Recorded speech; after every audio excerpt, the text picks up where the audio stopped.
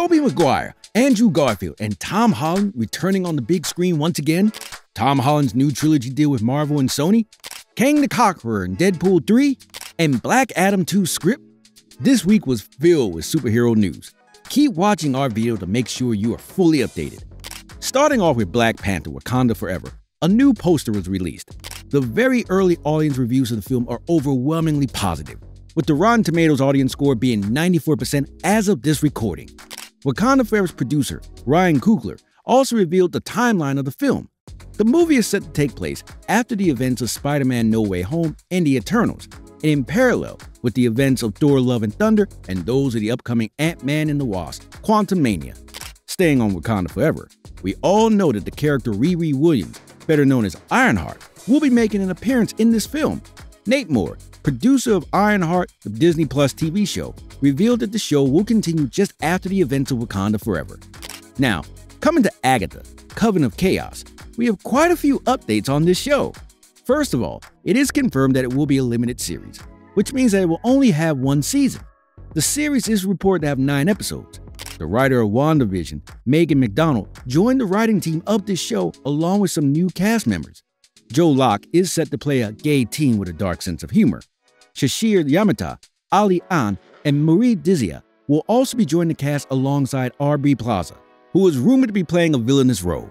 The roles of each new cast member are currently being kept under wraps, but we are excited for the new cast members in the MCU.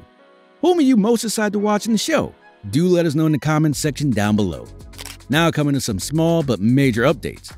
The Boys' fourth season will introduce two new recruits to the Vought International lineup, Sister Sage and Firecracker. Playing the roles will be Susan Heyward as Sister Sage and Valorie Curry as Firecracker. Fans are all up for watching them in action, and so are we. Many new concept arts from Loki Season 1 are now available on the internet. You can watch all of them on your screen right now. The concept art also reveals that the character, Hunter B-15, played by Wunmi Mosaku, was originally a male character. You remember Skaar, Hulk's son from She-Hulk, right? In a new Instagram post, Marvel Studios concept artist Konstantin Sekaris revealed some new designs for Skaar while also revealing how old the character is meant to look. He revealed that the character is 17, 18 years old and cocky and tough. You may now ask, why does Skaar look so old? Well, time moves differently on Sakaar. So, while it may not have been 18 years since Hulk first arrived there, the temporal differences could factor into most explanations. Joe and Anthony Russo, the directors behind Avengers Infinity War and Avengers Endgame, aren't planning to return to the Marvel Cinematic Universe anytime soon. They revealed they aren't coming back to Marvel until at least 2030 and are taking a break from the MCU. The Stargirl TV show was canceled after three seasons, and with the third season currently airing, the show will wrap on December 7th. American actor Yahya Abdul Mateen II has been cast as star as the lead in Disney Plus's series Wonder Man, where he will be playing the role of Simon Williams, this series is set to bring back Ben Kingsley as Trevor Slattery. We last saw this character in Shang-Chi. According to Variety, Shang-Chi and the Legend of the Ten Rings director Destin Daniel Cretton is developing this project with head writer Andrew Guest and will direct at least one episode of this show. According to some reports, Marvel Studios allegedly wants Bob Odenkirk to play a special role in this series. Moving on, we have some very old news for you, related to Tobey Maguire's Spider-Man 4, which was sadly canceled. Angelina Jolie came very close to being part of the movie that never happened as the daughter of the Vulture. Staying on the same topic, according to some reports, Sony's Madame Web movie is allegedly bringing back Topher Grace's Venom from Spider-Man 3. Not only that, but Dane DeHaan's Harry Osborn slash Green Goblin from The Amazing Spider-Man 2 is also rumored to make an appearance in this film. You would have watched Netflix's The Sandman until now. Season 2 of that show is confirmed and we are all up for it. Matt Reeves' Batman spin-off series The Penguin sets Cristin Milioti as female lead Sofia Falcone. Black Adam 2 script has already been finished, at least according to someone with very close links to the first film's production. James Gunn finally responded to the trending hashtag release the Ayer's cut by tweeting this. You can pause the video to read the whole thread properly. These were some small but major updates. Now to the news you've been eagerly awaiting. The next film from the Spider-Man franchise is Spider-Man Across the Spider-Verse, and we have some exciting rumors from the film.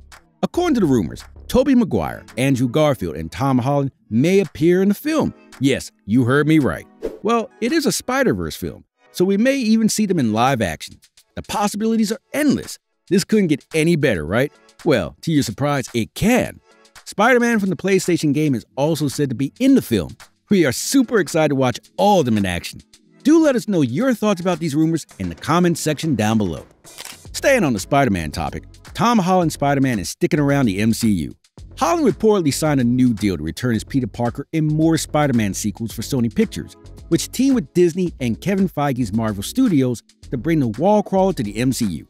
On the Hot Mic with Jeff Sneider and John Rocha podcast, insider Jeff Sneider reported the news that Holland closed a deal for the as yet untitled Spider Man 4, the follow up to last year's Spider Man No Way Home. While unconfirmed, Sneider said Holland's renewed contract includes another Spider Man trilogy and at least three more appearances. It's unclear whether that means within the MCU or Sony's Spider Man universe. At Good CBM Takes, a Twitter account that posts Marvel leaks, also listed the projects covered in the deal and claimed that Zendaya and Jacob have not yet signed anything. In this week's final update, Owen Wilson's Mobius and TVA from the Loki Disney Plus show are rumored to appear in Deadpool 3. If you think that's exciting, wait until you hear that Kang the Conqueror actor Jonathan Majors will reportedly join the cast of the threequel. Taylor Swift is also rumored to appear in the film. Well, what can we say? If Ryan Reynolds can bring Hugh Jackman as Wolverine back, then anything's possible. We just have to wait and see how well these rumors hold up. We hope you liked this video. Don't forget to like, share, and subscribe so that you and your friends don't miss out on any updates. See you next week for a slew of new updates. Bye!